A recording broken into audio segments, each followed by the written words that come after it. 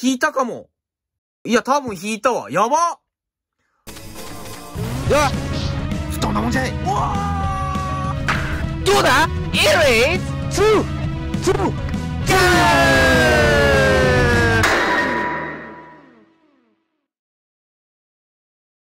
2024 BBM アイコンズ開封します。さあ今年も来ました。BBM アイコンズ野球シーズンの始まりを告げるような桜の開花のようなボックスですね。毎年ね3月から4月ぐらいに発売されてですね何が目玉かと言いますとこのボックス。今シーズンのルーキーの直筆サインカード初封入のボックスでございます。いや、まあそういうことでしてね、この表紙に写ってる常広だとか竹内だとか、ファンザじゃない方の西舘とかのサインカードが入っとるんですよ。ただ全球団のルーキーのサインが入ってるというわけではなくて、例えばね、DNA の渡来とかはね、入ってないんですよ。ちょっとどういう基準で BBM が入れる入れないっていうのを判断してるかわからないんですけど、まあ多分大卒ルーキーは大体入っとるんかな？西舘とか常広とか。あ、ファンザ西舘も入ってますね、これ。高卒ルーキーがちょっと入ってないみたいな感じですね。まあ、あとオリックスのね、横山とかも入ってない。まあ、ただサインカードですよ。サインカードが入ってくるプロダクトですよ。皆さんちょっと前まで、ルーキーエディションで、いや、ルーキーの白サインだ、白サインだと、喜んでいたじゃないですか。ちょっとね、申し訳ないですけど、あれはね、もうほんとあのー、所詮まがいものなので。白サインですよ、皆さん。白サインより直筆でしょう。直筆に勝るものなしでございますよ。白サインよりガチサイン。モザイクありより無修正。本物は無修正ですからね。日本のあれ、まがいものですよね。日本ってアメリカの真似ばっかりするじゃないですか。野球でもそうで、コリジョンとかチャレンジとか時短とか、その辺すぐ真似するじゃないですか。その辺すぐ真似するくせに、なんで AV のさ、無修正だけは真似しないんかは、僕には理解できないんですよね。一番真似しろよって思いますけどね。マジであれ、モザイクなんてもう見たい人いないからね、一人。無修正を真似するっていう政治家が出てきたら、僕はその通りに投票しようと思います。は、まあ、さておき、まあ、そういうね、ルーキーの直筆サインが初めて入ってくるというプロダクトでございますよ。チームリミットがファーストの前にね。で、まあ、ルーキーだけじゃなくて、この表紙に写ってるように、佐々木朗希とか宮城とか、こういう主力のサインも入っとると。それでいて、この価格、ワンボックスなんと、5000円プラスで、でございます。非常にね、リーズナブルな価格ですよ、野球カードとしては。まあ、ただこれからくりがありまして、まあ、ワンカートンに3枚か4枚ぐらいしかサインが入ってないんで、まあ、そういうことですね。まあ、4分の1か5分の1ぐらいでしかサインが出ないというボックスですね。で、ワンボックスにカードが37枚入ってまして、どのボックスにも決まった36枚のレギュラーカードが入ってるのと、残りの1枚がスペシャルインサートカードということで、ここが直筆サインカード、もしくは白サインカード、プリントサインかなでもしくはなんか、レアインサートみたいなのが入っております。まあその結局まあスペシャルインサートカード1枚が何かっちゅうことですね、今回は。まあ僕カープファンなんでもちろん常広のサインカードが一番欲しいんですけども、まあ普通に佐々木朗希とかのサインも欲しいですよね。であと今回サインカードのデザインがね、めちゃくちゃかっこいいんですよ。チームリミの銀盤サインみたいな感じのデザインで、もうすごいね、かっこいいなと思うんで。で、カープで言うと小園とかも入ってるんで、ちょっとその辺のね、ちょなんとか、まだこのボックスでサイン引いたことないんですけど、初サイン、今年こそ引けるように、早速、開封していきましょうか。ちょっとね、あの今更感はちょっとありますけども、これも3月のボックスなんで、これもうね、5月とか4月終わりの投稿になってるような気がするんですけど、まあ、そんなことはさて、これクパーしていいよね一番上じゃないよね。そうよね。これで一番下にですね、一番熱いカードが入っておりますので、まあまあまあ、焦らずに、ちょっとこっちから、束から見ていきましょう、束から。毎度これ系で思うのが、これ束がね、こうやって封がしてあるんですよ。これがね、あ今回はきつくない。いつもね、信じられんぐらいギチギチにね、してあるんでね、ちょっと困る時があるんですよね。あんだけ締め付けられるとちょっとしんどいかなという時があります。で、こんな感じで、まあ、ルーキーカードもあります。で、ドライチは基本入ってるかな？大卒ドライチは入った気がする。高卒とね、車卒は入ってなかった気がするかな。だから、渡来とかは入ってないんですけど。だ、下村はあれですよね。二人とも一緒なんで、かなかね、ちょっと、うーん、という感じでしょうか。辛いよね、阪神ファンからしたら。で、これですよ、常広。で、常広ちょっとでも続報がなさすぎてさ、なんか、大丈夫かなでもなんかこの前実戦で初登板しましたみたいな。マックス147、8出てたんで、いやー今年中のデビューも十分にあるんじゃないでしょうか。この裏にはその選手の情報が書いてあります。大分出身なんで森下の後輩ですよね。で、青学と。さっきの下村も青学なんで、青学からドライチが2人出てくるというね。京都大学リーグで通算8勝4敗、防御率1.64。4年春秋と連覇。大学選手権で決勝で完封して優勝。で、マックス155キロ出ると。いや、素晴らしい選手ですよ。これは楽しみでしょうがないね、常広。早く見たいでしょ。これも大事なルーキーカードです。これ、取ってきましょう、皆さん。で、川野と、ちょっとね、なんか便利屋みたいな扱いになりそうなんで、ちょっと、そこから脱却して素晴らしいスターターになってくれるように頑張っておいたってくださいと思う次第でございます。で子供もね、前半、なんか始まってすぐはね、好調だったんですけど、オープン戦そのまま引き継いで、ちょっと最近元気がないんで、ちょっと頑張っていただいてね、TikTok でもやったら調子が上がるかもしれませんので、皆さん渡辺梨沙、ぜひフォローするようにしておいてやってください。で、よ、上、上皇あ、上皇、上皇ね、上皇ね。狂犬兄弟の大型星は。あ、育成1位だったんじゃ。で、もう支配下勝ち取ってる。素晴らしいじゃないですか。で、林ね。僕はね、森にもっと頑張ってほしいんでね。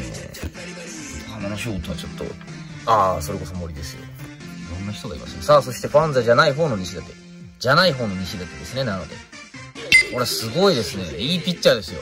ストレートがもうなんか、ギュイーンといきまして、で、あの、落ちる球も切れてまして。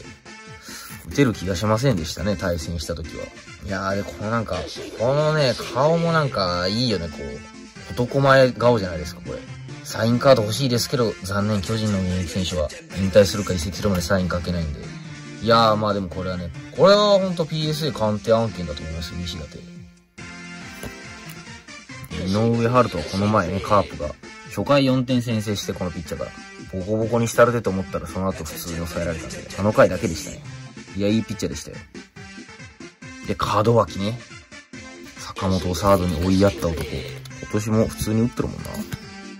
で、えーっと、ファンザの方の西舘ですね。ファンザ西舘。まあ、詳細は皆さん、あの、ファンザ西舘で検索してみてください。書いてないかなツイッターのいいね欄にどうのって。書いてないか。いいことしか書いてないな、BBM は。もっと攻めたこと書いていい。